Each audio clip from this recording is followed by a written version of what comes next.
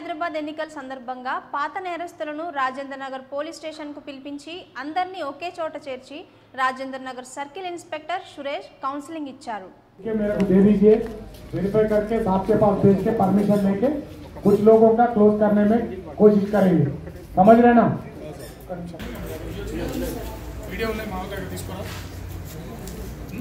Okay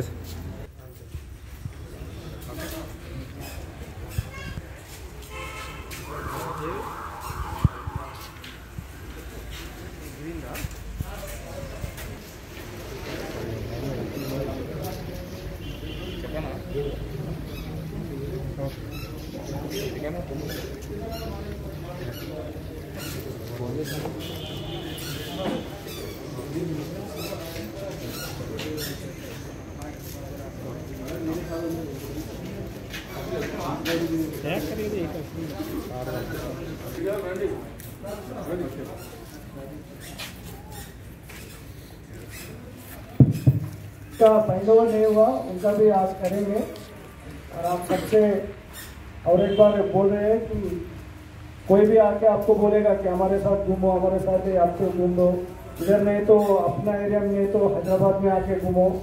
अभी election के time में कब तक घूमो बोल के बोलेंगे।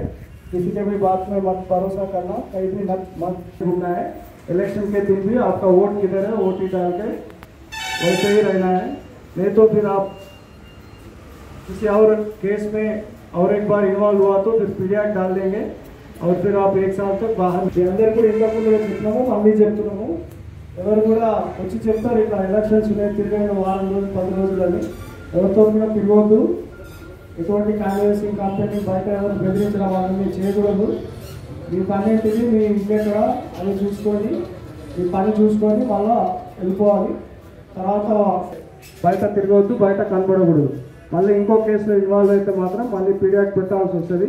ఒక సంవత్సరం పాటు ఎవరైతే మంచి సత్ప్రవర్తన ఉన్నారో డిసెంబర్ పదిహేను తర్వాత అప్లికేషన్ తీసుకొని ఎటువంటి కోర్టు కేసులు లేవు అటువంటి వాళ్ళు చూసుకొని మంచి ప్రవర్తన ఉండి ఇప్పుడు మంచి వర్క్ చేసుకునే వాళ్ళు చూసుకొని Rajendra Nagar police station Mailardevpally police station పరిధిలో ఉన్న వంద పైచిలకు రౌడీ షీట్లు అందరినీ కూడా పిలిపించి కౌన్సిలింగ్ ఇవ్వడం జరిగింది.